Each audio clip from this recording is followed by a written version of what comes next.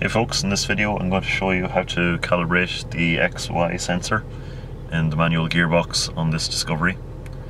The problem it's having is that the park brake isn't auto-releasing and also the gear indicator number is taking a while to, to appear on the dashboard.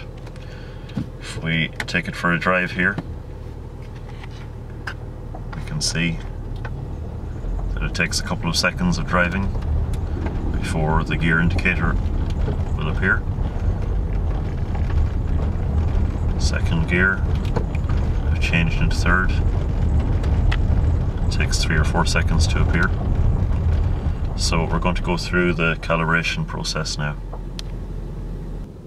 So to start off, we're going to select low range. So we put it in neutral, select low range, and it tells us low range selected.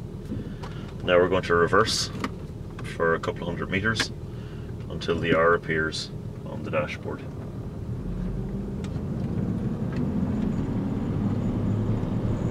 And the R has appeared.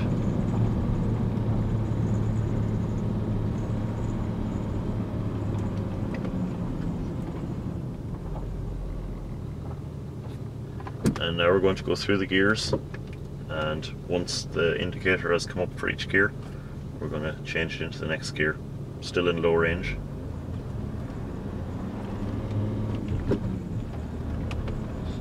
First second.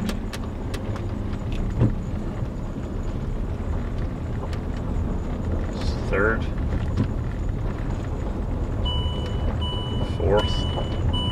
I don't have my seatbelt on so it's complaining. That's fifth we have sixth. So now we can slow down and stop.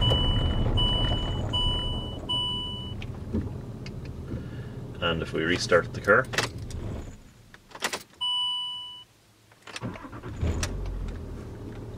select high range,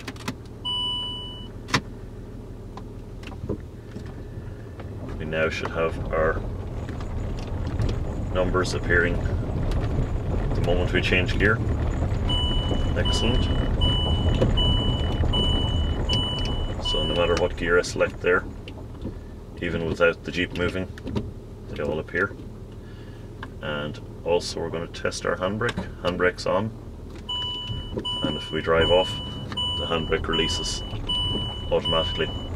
So that's that problem fixed. This problem can occur if your clutch slips, if you're resting your foot on clutch or if you're taking off on a hill and you just let it slip for a second too long, it will get out of calibration. So that's it, an easy fix. Thanks, bye bye.